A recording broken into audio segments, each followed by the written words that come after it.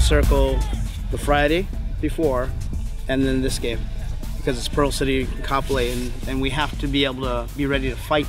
The boys just stepped up and didn't want to lose individually.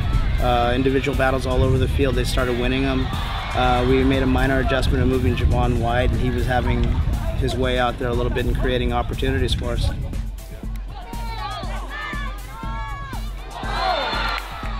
We were one one zero down. We didn't want to lose this game, so we put in the extra effort to come out with two lucky goals.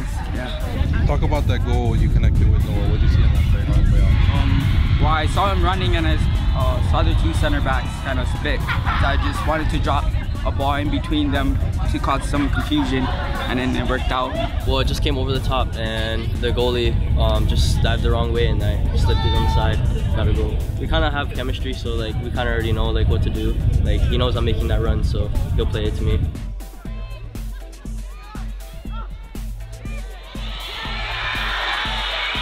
It's just a big mess. just you know, we fought for it and went off someone and it went in.